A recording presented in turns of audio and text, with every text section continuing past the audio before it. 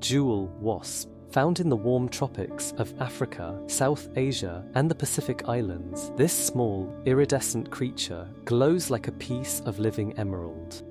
But behind its beauty lies one of evolution's most disturbing strategies the ability to control another creature's mind. Despite its delicate frame, it is a predator, and its target, the cockroach, is several times its size. Yet the wasp doesn't rely on strength, it relies on precision. She strikes twice. Once to disable, once to dominate.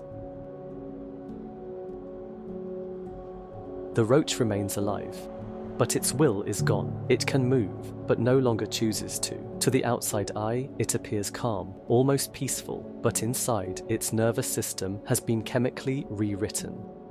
The wasp then tastes the roach's hemolymph, its blood, through the antennae.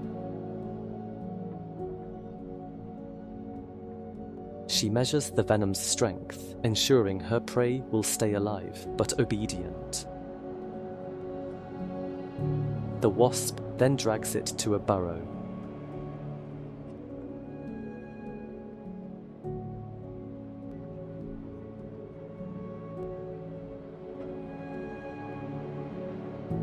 Lays a single egg on its abdomen and seals the chamber. Inside, the roach stays alive for weeks as the larva feeds from within, carefully eating non vital organs first to keep it alive. A month later, a new wasp emerges, leaving behind only an empty shell, beauty, precision, and horror, all in one perfect parasite.